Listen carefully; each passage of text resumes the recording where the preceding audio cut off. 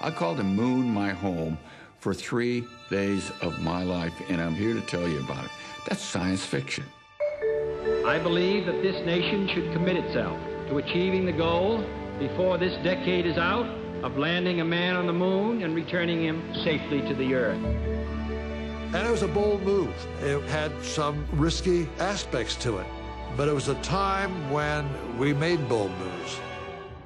It's T minus one hour, 29 minutes, and 53 seconds and counting.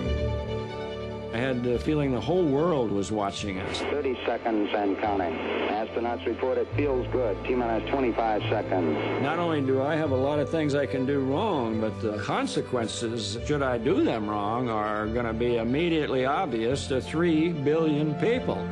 Ignition sequence start. Five, four, three,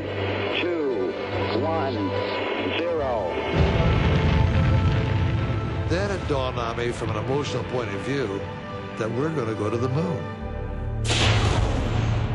All your systems are looking good going around the corner. We'll see you on the other side. Over.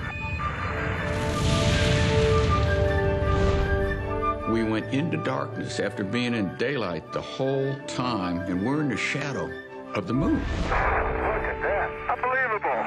Felt that I was literally standing on God's front porch. I remember thinking, uh, my God, that little thing is so fragile out there. That jewel of Earth was just hung up in the blackness of space. People, instead of saying, well, you Americans did it, everywhere they said, we did it. We, the human race, we people did it. And I thought that was a wonderful thing.